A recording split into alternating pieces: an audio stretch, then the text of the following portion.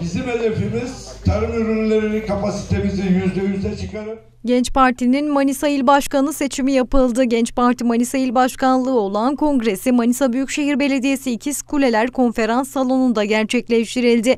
Kongre saygı duruşunda bulunulması ve İstiklal Marşı'nın okunmasıyla başladı.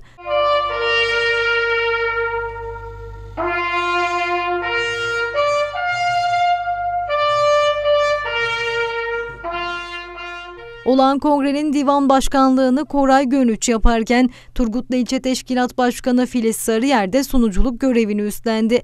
Yeterli çoğunluğun sağlandığı kongrede partinin üyeleri oylarını kullanmak üzere sandığa gitti.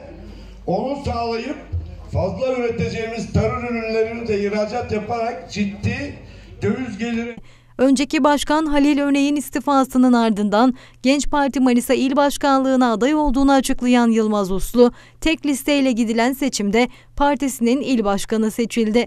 Kongre sonunda e, seçimlerde Manisa'nın da seçimlerde var olduğunu göstermek için bugün il başkanlık seçimine gidiyoruz. E, Manisa'mıza ve Türkiye'mize hayırlı olsun.